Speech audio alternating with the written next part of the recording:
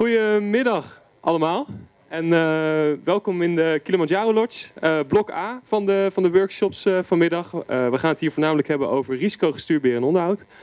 En Wouter-Jan Klerk die gaat voor ons de eerste sessie verzorgen. Dokter Wouter-Jan Klerk moet ik eigenlijk zeggen, want hij is net, nou, relatief kort geleden heeft hij zijn promotieonderzoek afgerond. En daarbij ging het onder andere over de factor mens bij de visuele inspectie. En eh, hij gaat ons daar eh, nu in meenemen. Een stukje presentatie, stukje interactief, stukje terug, eh, terugkoppeling. Dus eh nou, Wout-Jan, eh, veel succes, veel plezier. Dankjewel, Wouter. Oh. Ja, ja, ja, ja. Oké. Eh, ja, eh, bedankt voor de introductie en eh, welkom allemaal. Ehm, ik eh, ben inderdaad Wouter Jan Klerk, ik werk bij Deltaris. Ik ben eh, in maart gepromoveerd bij de TU Delft. En eh, een van de eh, dingen waar ik daarin aan, hè, waar ik aan heb gewerkt is risicogestuurd beheer en onderhoud. En waar ik specifiek ook naar gekeken heb, is eigenlijk de rol van de inspectie daarin. En wat, wat betekent de inspectie eigenlijk voor het risicogestuurd beheer en onderhoud? En voor de overstromingskansen van onze, van onze dijken.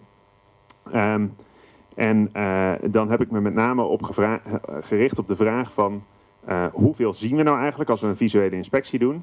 En is dat voldoende? Vinden we dat voldoende? En hoe zouden we dat nou kunnen verbeteren? Nou, vooral dat laatste gaan we het vandaag over hebben. Dus ik zal eerst, denk ik, een kwartier ongeveer wat resultaten laten zien van dat, van het onderzoek.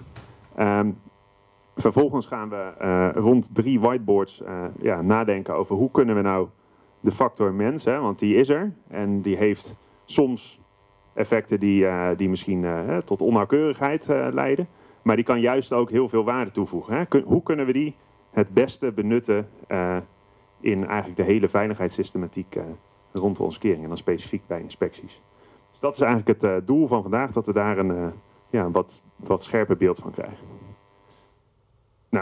Mijn promotie was onderdeel van, eh, van het All-Risk-programma. Dat is eh, bijna afgerond. Er zijn 15 promovendi eh, mee bezig geweest met allerlei aspecten van de implementatie van de nieuwe waterveiligheidsnormen. Ehm, wat wel leuk is, dit is mijn proefschrift.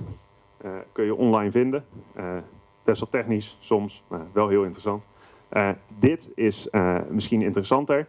Er is ook recent een groot boek uitgebracht. waar eigenlijk van alle onderzoeken uit, in All Risk en ook van alle hoogleraren stukjes zijn geschreven over eh, het onderzoek wat is gedaan. Dus te benaderen via deze link. Ehm, en er staat een QR-code. Ehm, die kan ik eventueel straks nog een keer op het scherm zetten als je hem wil scannen. Ehm, maar, eh, en anders kun je via allriskprogram.nl eh het boek eh, vrij makkelijk vinden. Is er in het Engels en in het Nederlands. Nou, waar hebben we het over? Risicostuur beheer en onderhoud. Dit is best wel een technische slide. Uit onderzoeken naar inspecties blijkt eigenlijk... bij een visuele inspectie zie je nooit alles wat je had moeten zien. En dat weten we, en dat weet iedereen eigenlijk wel. En dat blijkt ook hè, als je kijkt naar, eh, naar allerlei onderzoeken in het verleden. Naar op allerlei verschillende toepassingen. Geen dijken, overigens. Maar bruggen eh, staat erbij. Vliegtuigen. eh, geen zorgen voor de vakantie, die vallen echt niet zomaar uit de lucht. Ook eh, gewoon hè, in fabrikageprocessen zijn allerlei kwaliteitscontroles. En er zijn in het verleden, vooral in de VS, zijn heel veel onderzoeken geweest naar hoe zorg je nou dat mensen die die kwaliteitscontroles doen optimaal presteren. En eigenlijk zou je dezelfde vraag kunnen stellen eh, voor dijkinspecteurs. Hoe zorgen we dat dijkinspecteurs optimaal presteren? Kijk, je kunt eh, zeggen, en ik, dan ben ik vergeten het voorbeeld te zoeken, maar je kunt zeggen, je moet iets inspecteren en het moet er exact zo uitzien. Ehm, nou, dan is alles wat niet zo exact eruit ziet, is fout. Hè? En dan krijg je eh, alle dingen die niet goed zijn. Hè? Dus stel je moet een, eh, een, een, plaatje plankje uit de vloer moet je inspecteren. En moet er precies zo uitzien als deze.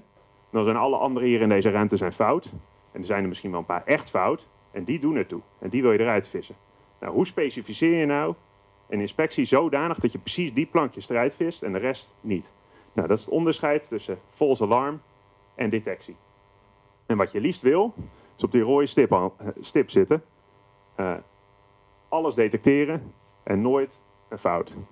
Nou, dat gaat niet lukken, maar je kan het wel proberen te benaderen. Nou, wat hebben we gedaan voor dijkinspecties? Ehm, samen met Waterschap Rivierenland hebben we in maart 2020, een week voor de lockdown, dus we hadden tamelijk, ik had tamelijk veel geluk voor mijn onderzoek, eh, hebben we met, eh, ruim 20 inspecteurs hebben we vier dijkvakken rondom Tiel. Hebben we eigenlijk de voorjaarsinspectie, zoals die daar gedaan wordt, nagebootst. En nou, wat betekent dat? Die inspecteurs die zijn met de DigiGids zijn, hè, dus we hebben eerst een referentiesituatie opgenomen. Sjaak was er ook bij.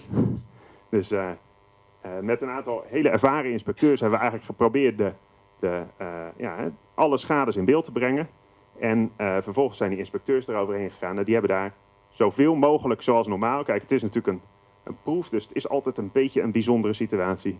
hebben ze die dijken geïnspecteerd. En daar komt dan een inspectierapport uit met alle schades die er zijn. Is die gezien, ja of nee? Wat voor parameter is er gegeven?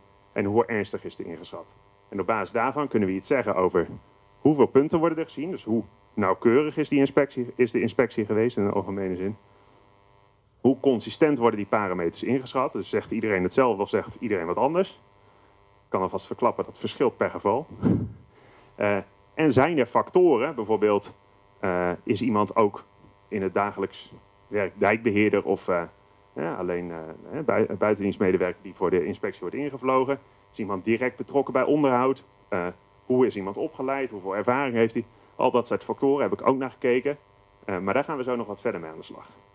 Um, en dus dat soort vragen kunnen we dan beantwoorden. Nou, de dijkvakken hè, dus zijn redelijk behapbaar. Het idee was dat je ze ongeveer in 20 minuten zou moeten kunnen inspecteren. Um, en dat de inspecteurs geen tijdsdruk zouden moeten voelen. Um, meestal lukte dat. Um, dit is het binnenteluut hier langs het Amsterdam-Rijnkanaal. Dat is 200 meter uh, gras, grasbekleding. En uh, hier langs de uh, Waal, dus dijkvak 2, is het buitenteluut geweest. En bij dijkvak 3 zat een basaltbekleding met erboven nog een stukje gras. En dat was wel een bijzondere, want daar... Een pointer doet het niet. Wat je ziet is dat het water vrij hoog stond. Um, en dat had wel invloed op de, op de inspectie, omdat je toch niet zo heel fijn hier langs loopt, terwijl de Waal daar langs uh, stroomt, zeg maar. Dat is 8000 kub per seconde of zo. Um, en de vierde is een, een beetje een bijzondere. Dat is een uitlaat of een inlaatconstructie van een inundatiekanaal. Uh, met daaromheen allerlei grasbekledingen en beschoeiingen. Nou, wat hebben we gedaan? Op, in de week daarvoor hebben we eigenlijk een referentieopname gedaan. Um, hebben we geprobeerd echt alle schades te vinden. Is niet helemaal gelukt. maar we hadden er wel veel. Maar dan zie je al hè, hoe, hoe, lastig het is. Hè. Dus, nou, dit is de welbekende Jaap Bronsveld. Uh, Sjaak was erbij, de, de, de dijkbeheerder Wim Cornelissen. En ook dan hè, met zoveel ervaring en zoveel ogen zie je nog steeds wel eens wat over het hoofd. Waarvan je achteraf denkt, ja, misschien hadden we dat moeten zien of niet. Nou, misschien kan dat ook gewoon niet. Um, en vervolgens in de weken na zijn er eerst negen inspectierondes geweest. Toen is er nog met een drone over de, over de kering gevlogen. En uh, dan aan het eind nog vijf en dan krijg je zo'n soort beeld. Dus, um, ja, dus hier zit bijvoorbeeld een, uh, een melding van onkruid en dan zie je die rode stippeltjes. Dat zijn allemaal inspectieresultaten van onkruid. Hier, zie je, hier zit een opbolling. Zie je echt een concentratie van puntjes, maar je ziet al, het zijn geen 14 puntjes, want er zijn 14 inspectierondes gedaan. Nou. Hoeveel is er dan gezien? Dat heb ik eigenlijk op twee manieren geprobeerd te kwantificeren. Uh, het is namelijk niet zo dat, uh, kijk, als je in een inspectie ieder muizengat moet gaan registreren, dat is ondoenlijk. Dan krijg je zo, nou, wat ik net schetste met die, met die plankjes, dan ga je overal melding maken. Dus is altijd wel ergens een muis, hè? maar je moet uiteindelijk gaat het om van ja, hoe, hoe verbindt het zich met onderhoud? En dan, uh, als er ergens muizen zitten, dan trek je toch het hele dijkvak. Uh, uh, trek je dat glad of niet? Hè? Dat hangt een beetje van de situatie af. En dus we hebben onderscheid gemaakt in schadesoorten. Dus alle graverij op een dijkvak en schadepunten. En dat is dan bijvoorbeeld een specifiek graafgat of een specifieke losse steen op die basaltbekleding. En wat je eigenlijk ziet is dat nou, hè, voor die, voor die schadesoorten, dan ligt het een beetje in deze range, hè, zo 60, 80 procent uh, detectie. En voor die punten varieert het heel sterk. Dus de overgang op dijkvak 4 bij de constructie hier, nou, daar zijn best wel goed veel meldingen van gemaakt. Hè. Dat is een, 80% is een hele, hele redelijke score. Uh, maar die losse stenen, ja, dat heeft ook een beetje met het hoogwater te maken, die blijken echt ontzettend moeilijk te zijn. Ik heb nog een student gehad, die heeft hierna nog onderzoek hier gedaan. En die heeft nog een losse steen gevonden die in al die inspectierondes nog is gemist. Hè. Dus dat geeft wel aan hoe moeilijk het is om, om dat soort dingen te detecteren. Dus moraal, hè, vrij veel variatie. Maar ik denk op hoofdlijnen wel nou, een beetje wat je misschien zou mogen verwachten. Ik vind bijvoorbeeld die opbolling. Uh, volgens mij is dat deze foto. Je ziet, het is moeilijk te zien, maar uh, volgens mij zit hier iets, een, iets van een inzakking. Uh, als je goed kijkt.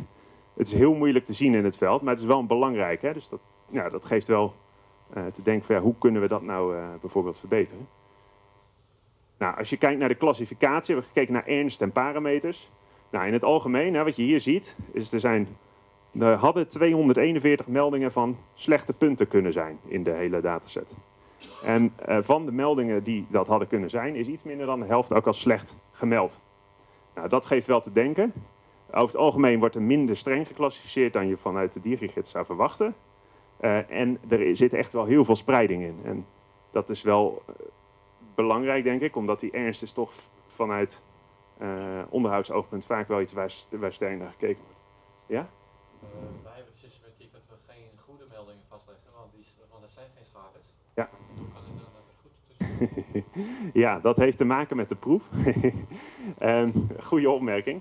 Um, in sommige gevallen, uh, we hebben zeg maar uh, de inspecteurs bevraagd op van ja, heb je bepaalde dingen gezien? Hè? Dus er is bijvoorbeeld een inspecteur, concreet voorbeeld, kom, kom met binnen, die zegt, nou ik zie hier wat graverij, maar de grasmat is verder goed. Dus dan hebben we gezegd, nou dan heeft die graverij heeft uh, heeft hij een, hè, bepaald punt gemaakt.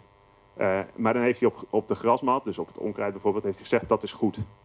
Hè, en dat is een beetje een gebrek. Achteraf gezien uh, had ik liever in de proef ook goede punten laten registreren. Dan kun je nog helderder die op, op, opsplitsing maken.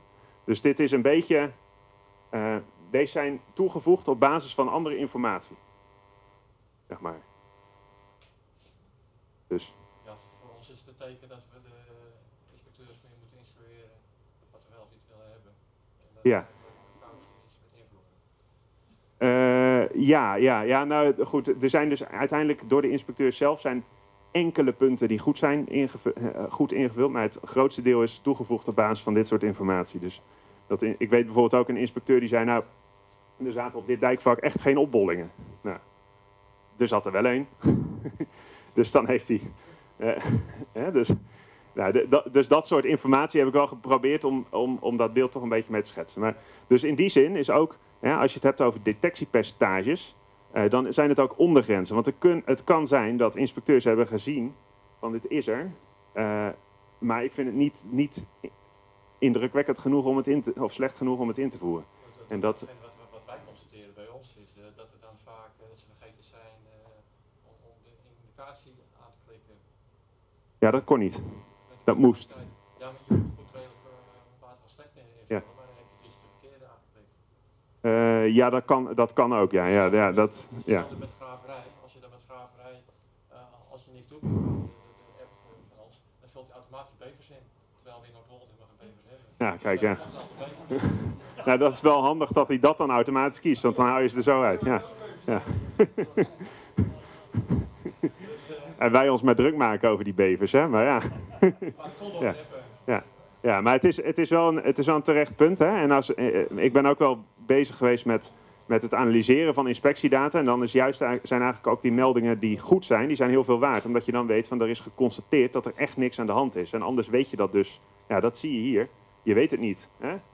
Uh, het ene jaar zegt er iemand er ligt een steen los. En het andere jaar ligt hij ineens niet meer los. Terwijl er niks hoeft gebeurd te zijn. Ja, dat, dat is Dus dan zijn die goedmeldingen, die zijn juist vaak wel... Uh, maar hoe je dat precies in de systematiek past zonder dat het een enorme rompslop wordt, nou, daar kunnen we het straks misschien over hebben. Nou, klassificatie van de parameters. Even een vraag. Welk schadebeeld zien we hier?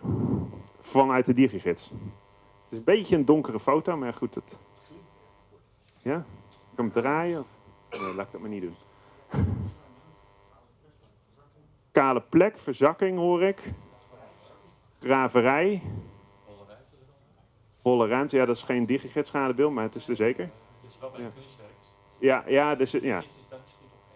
Nee, nou. Sterk punt. 14 inspectierondes, 12 inspecteurs die hier een melding van hebben gemaakt, zeven verschillende parameters. Dus dat is wel een gaatje in de digigids, zou ik denken. Dus, en, en eigenlijk, als je er naar kijkt, hè, er zijn sommigen die zijn bijvoorbeeld, die slaan dan op een damwand aansluiting. Kijk, dit is geen damwand, maar het is wel een aansluiting. Dus hebben dan gedacht, nou ja, dat, dit past het beste. Maar eigenlijk valt er voor bijna al die registraties valt iets te zeggen. En dan kun je de vraag stellen van ja, eh, is dat nou doelmatig dat we zoveel parameters hebben die eigenlijk misschien wel van toepassing kunnen zijn op hetzelfde. Terwijl, kijk, wat is de essentie? Als hier overslag komt, dan begint daar de erosie en dan is het zo weg. Dat is uiteindelijk wat er vanuit risico-oogpunt aan de hand is. Nou, wat je bij bijvoorbeeld bij graverij ziet, is, eh, dat zijn deze puntjes vooral, en hier nog twee die eh, dan wel wat beter zijn gegaan, is dat het onderscheid tussen graverij groot en graverij klein blijkbaar in de praktijk best wel lastig is. Er zijn allerlei regels voor, maar in het veld zie je toch dat die ja, moeilijk toe te passen zijn en dat er dus op bijna al die punten eh, zowel klein als groot wordt gebruikt. En verder vind ik het op zich, hè, gezien de hoeveelheid parameters, vind ik het helemaal niet zo, nou, is best, best wel Nou, eh, samenvattend, dus hoeveel punten worden er nou gezien? Als je nou kijkt per punt, hè, dus per individueel graafgat, dan zit je op orde 40 tot 60 procent bij, bij beschadiging aan de grasbekleding. Ehm, maar voor onderhoud is dan zeker wel het vakniveau interessanter. Als je een paar graafpunten hebt, ja, als inspecteur ga je niet voor de vijfde keer in 50 meter een melding maken. Dan, op een gegeven moment dan, dan geloof je ook al een keer en dan is het vakniveau interessanter. Basalt veel lager, dat heeft te maken met dat het gewoon heel veel moeilijker te inspecteren is. Eh, doordat het gewoon ja, lastiger te zien is en eh, door het hoogwater in dit geval. Nou, de consistentie zie je dat bij de ernst veel spreiding is. En dat de parameters redelijk goed gaan, maar dan wel met enkele uitzonderingen. Ehm, en de laatste vraag. eh, zijn er factoren die tot hoge of lage nauwkeurigheid leiden? Nou, dat is als heel moeilijk te bepalen. Hè? Dus wetenschap, dan moet je het statistisch aantonen. Met 14 inspectierondes is dat moeilijk. Er zijn wel wat, eh, wat indicaties gevonden. Bijvoorbeeld dat inspecteurs die actief betrokken zijn bij het onderhoud wat beter scoren dan eh, inspecteurs die dat niet zijn. En omdat ze iets meer gevoel hebben voor, eh, ja, voor wat er toe doet, zal ik maar zeggen. Ehm, maar daar gaan we vandaag mee aan de slag. Welke factoren hebben invloed? Een beetje een overzichtje geven. Hoeveel tijd had ik van het kwartier? Nou, nou, dat, dat, gaat lukken. Ja, Ehm, oké. Wat je ziet eigenlijk, hè, bij, nou, dat zagen we net bij die overgang, is dat je eigenlijk in de digigids heb je best wel veel parameters die hè, van toepassing kunnen zijn, hè, maar er kunnen er op een bepaalde situatie kunnen veel dezelfde parameters van toepassing zijn. Wat nou in, in mijn ogen een van de redenen is van die inconsistentie, is dat er, dat toch wel vaak onduidelijkheid is in categoriegrenzen, of dat er overlap is. Hè. En dat het, eh, of dat je twee gecombineerde, ik bedoel als je bijvoorbeeld muizengaten hebt waar dan een scheur doorloopt, ja wat is het dan? Is dan een scheur, Va- vaak is die ook nog kaal, en de schraverij. Nou, zeg maar. Ja, een vraag? Nou, ehm, heb je ook andersom geredeneerd? Uiteindelijk maakt het niet uit wat ik precies constateer als ik maar iets op een bepaalde plek heb geconstateerd, want dan kan ik het altijd weer vinden. Eh, ik kan een hele verzameling aan verschillende dingen op één plek hebben. Ja. Maar Als die allemaal op dezelfde x en y liggen, kun je het altijd weer vinden en kun je er altijd wat aan doen.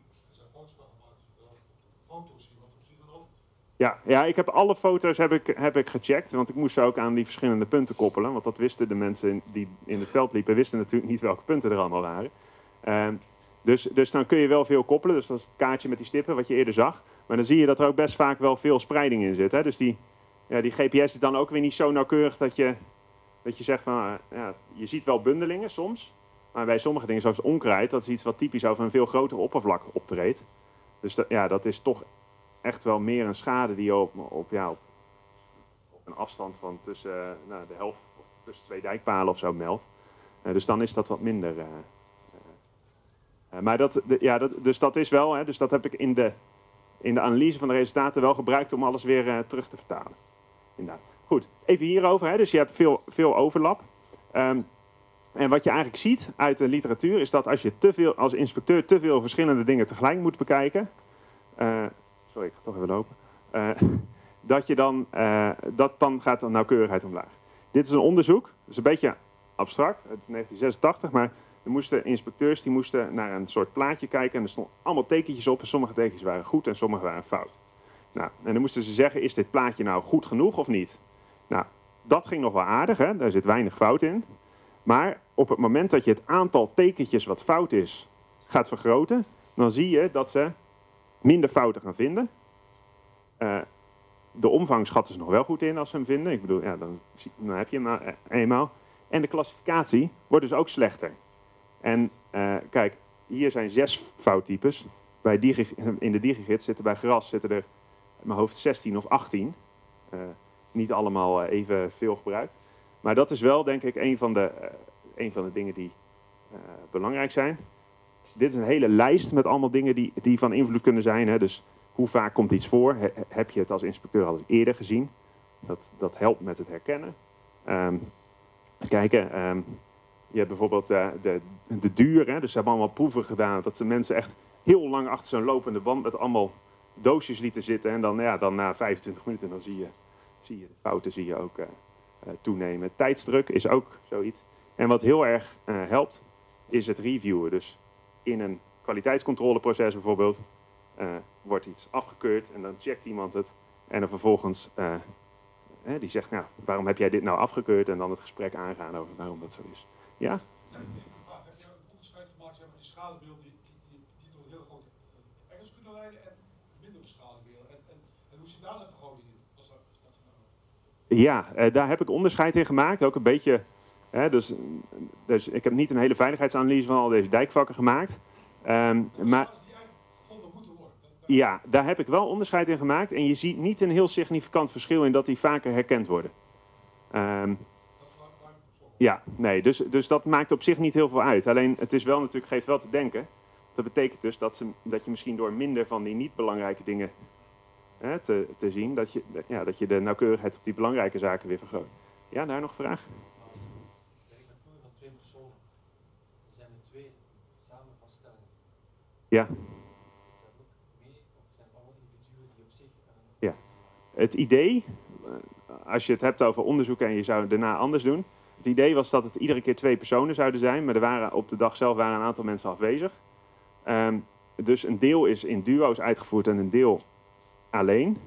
Eh, dat geeft geen significant verschil, behalve op het vak met de steenbekleding. En dat heeft er puur mee te maken dat als ze alleen waren, dat ze hoger zijn gelopen. En dan zie je die punten die onderaan bij de waterlijn zitten, die zie je helemaal niet meer. Dat is daar een heel belangrijk punt geweest. Maar verder, ja. Ja, ja. Eh, ja, uiteindelijk, zijn, ze, zijn ze redelijk het, hetzelfde, ja. Maar goed, je bent natuurlijk wel, als je met z'n tweeën bent, dan ben je wel... eh, die waren vaak wel, dan wel weer iets sneller klaar. Hè? Dus als je in je eentje was, dan, dan moest het wel echt... tijd. Sorry? Ehm, eh, Ja, nou dat zie je dus ook, hè, bijvoorbeeld. Dus die steenbekleding die was op de laatste dag was die een beetje glad en had s'nachts geregend. Ja, dan gaan mensen dus hoger lopen en dat heeft effect. Ja, absoluut. Ja. Even een relevante vraag, denk ik. Ja? De punten. Dat je hebt eh, meldingen, bij ons staan met puntmeldingen, Ja. lijnmeldingen en vlakmeldingen. Ja. Dit zijn alleen punten. En die andere, Eh, worden bij Rivierenland niet gebruikt. Dus dat... eh, Want bij ons is het zo van zo dat het bijna niet meer te interpreteren is. En als die schade over 10 meter is, kan je net goed de lijn neerleggen. Alleen dan wordt het heel moeilijk vergelijken. ja, ja. Ja, daar staan vaak wel, eh, wel dingen in van over het hele dijkvak aanwezig. heb ik dan ook weer gebruikt om te zeggen van, eh, hè, de- soms dan, nou ja, meegedaan.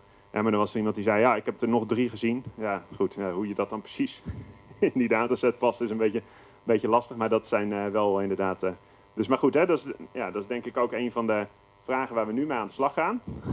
Eh, en, hè, dus we hadden eh, dus, dus naar die factoren die nou, hoe kunnen we nou zorgen dat die nauwkeurigheid wat omhoog gaat? Dat is eigenlijk de, de vraag. Hè? En dat gaat niet zozeer omdat het nou heel slecht is, maar we willen het graag beter doen natuurlijk. Dus wat verlaagt nou in jullie ogen meest de nauwkeurigheid en de consistentie? Hoe zouden we dat concreet kunnen verbeteren? En wat is er nou in de laatste jaren eigenlijk al een verbetering in gedaan dat we het gevoel hebben van nou dat heeft echt, dat heeft echt geholpen. Daardoor, hebben we meer nou, laat ik maar zeggen, een beter gevoel bij wat we doen. Eh, er zijn drie eh, whiteboards. Dus de vraag is om in drie groepjes op te splitsen.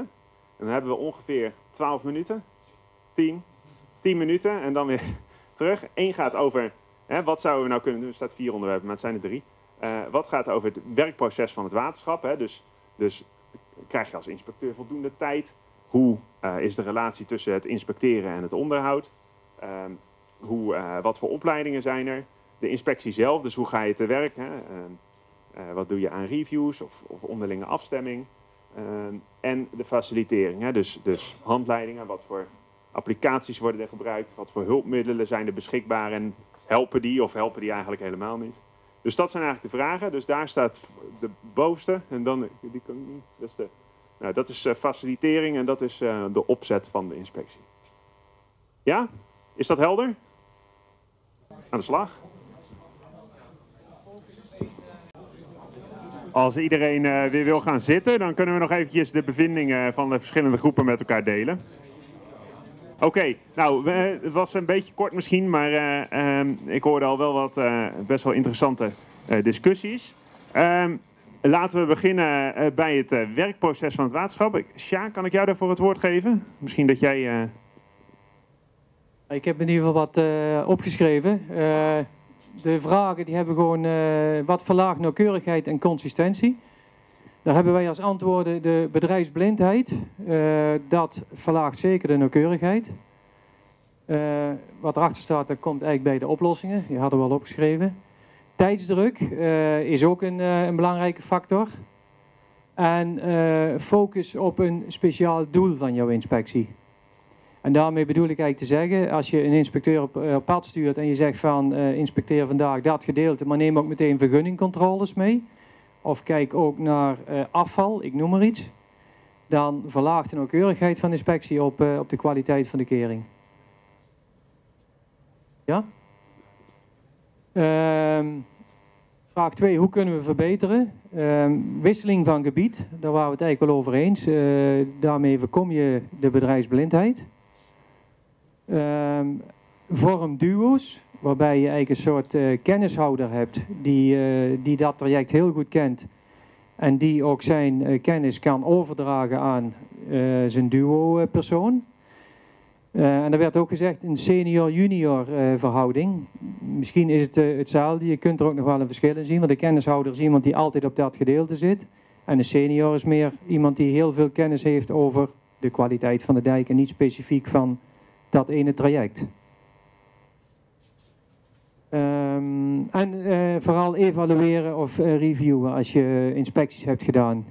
Leren van eh, de dingen. Ik bedoel, wat jij nu hebt gedaan in je onderzoek is eigenlijk heel belangrijk dat we dat altijd doen. De tijd ontbreekt, maar het is natuurlijk wel heel goed. ja, dat is nog één vraag. Ehm, welke grote verbeteringen zijn de laatste jaren geweest? Oefen, oefeningen. Meer en betere hulpmiddelen. En hou het simpel. Eigenlijk weer maar net zei probeer je te focussen op één eh, onderwerp. Dankjewel. Ehm ja, als ik samenvat is het inderdaad de, de ve- veelheid aan taken misschien ook een beetje. Hè? Die, eh, die eh, het, ja, toch de kwaliteit misschien wat geweld aan doet. Ehm dankjewel. Als we naar de opzet van de inspectie gaan, wie kan ik daarvoor het woord geven? Wie heeft dat opgeschreven? ik zie... Ik zie hier het, ja, deze, de bovenste weet ik, dat is mijn mondeling meegedeeld. Hè? Dus, dus dat is eigenlijk ook een vorm van review. Eh, ik zit, nou, goed. Oké, hè? Eh, dus dat is eigenlijk elkaars vak controleren. Hè? Dus dat is een vorm van review natuurlijk. Eigenlijk wat, wat hier natuurlijk is gedaan in die proef is, is dat er veertien keer eigenlijk dezelfde vakken zijn bekeken. Maar je zou dat ook op een andere manier in kunnen richten. Dat je, dat je stukjes bijvoorbeeld samen doet. Hè? Stel je inspecteert allebei 20 kilometer, dan zit er in dat stuk zit 4 kilometer overlap en daar loop je dan daarna nog eens een keer samen overheen om eh, verschillen te bespreken. Eh, dat lijkt heel erg op wat ze bijvoorbeeld bij die productcontroles ook, eh, ook doen met iemand die dan daarna nog een keer kijkt en dat je er dan samen over gaat praten. Dat kan heel goed helpen. Ehm, duidelijk afspraken maken met de beheerder, de instructie, daar heb ik wat minder een beeld bij. Ik zie iemand ja knikken. Ja?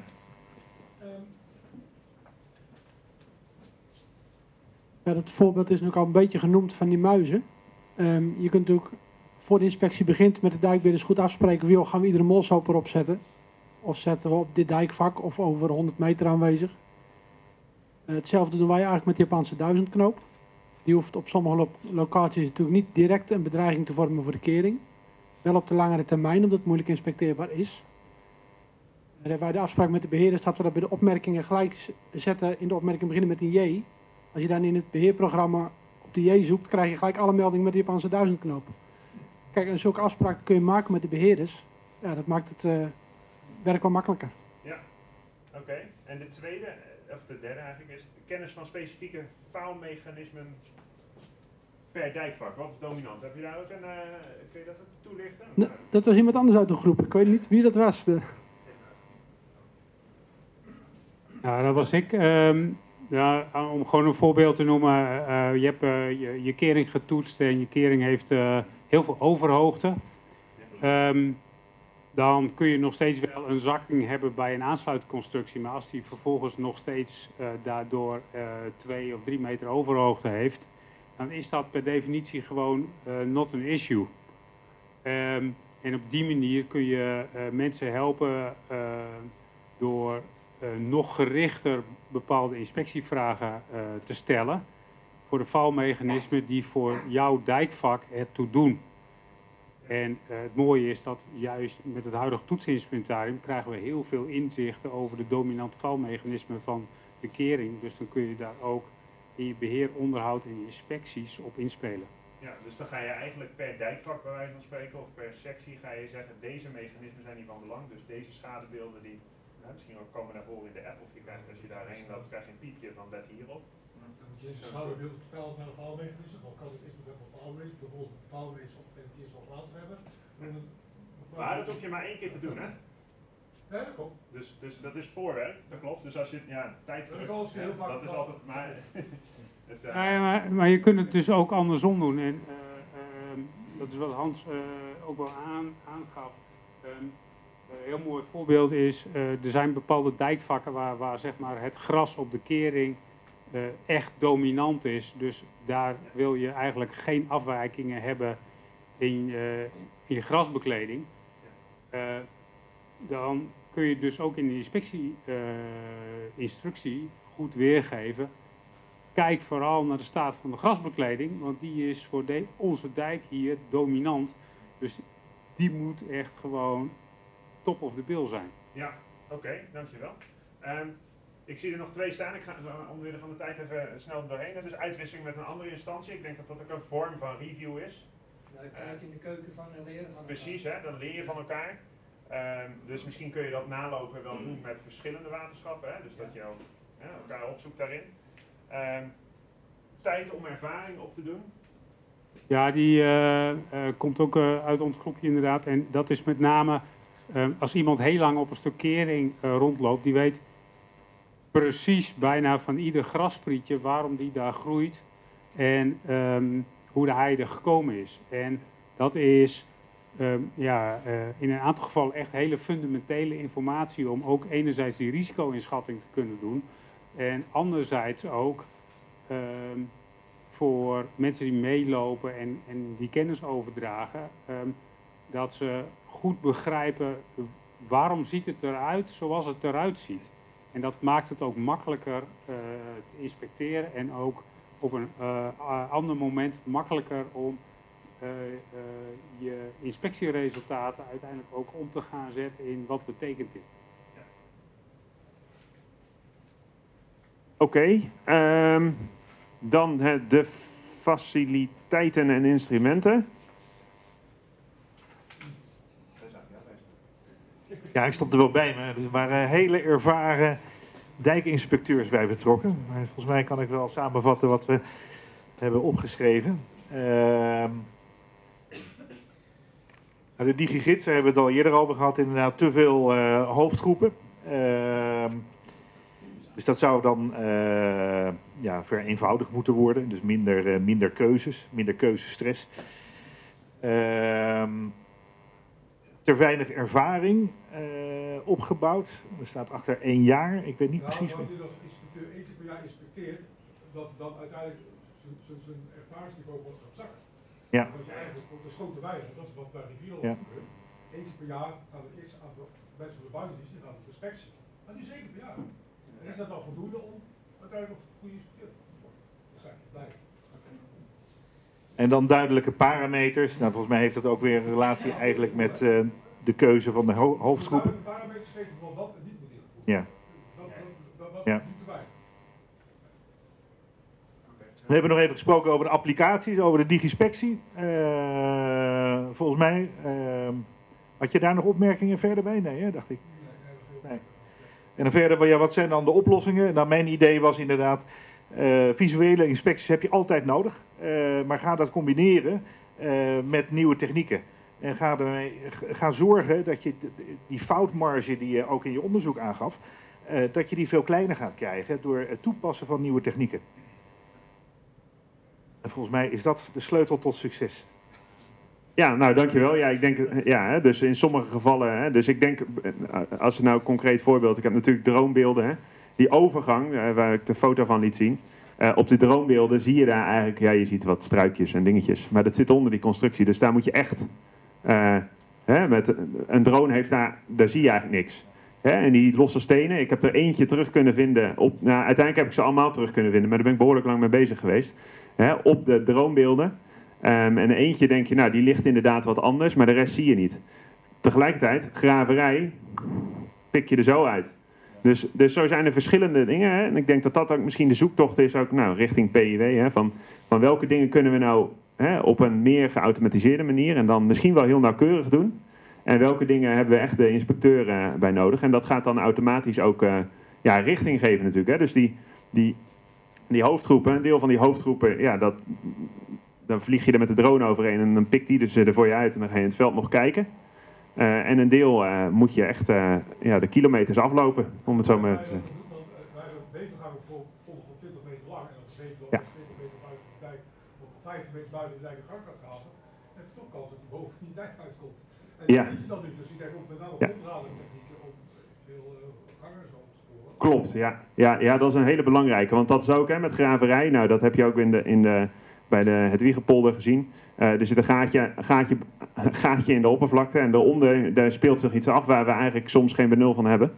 Ehm, en dat zie je niet altijd aan de oppervlakte. Dus volgens mij genoeg uitdagingen. Ik hoop dat jullie eh, nou, wat ideeën hebben opgedaan over hoe je misschien in je eigen praktijk eh, hier al wat stappen mee kunt zetten. En ik hoop dat dat ook breder opgepakt gaat worden.